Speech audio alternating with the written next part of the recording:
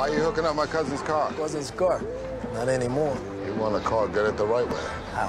Race for it. Race the Cuban mile. Done. Laughing gas? Nah, Fed. This is Cuban knots. You know that's way too much boost for that engine. Gonna be fast. It's gonna be a bomb. Only needs to go a mile.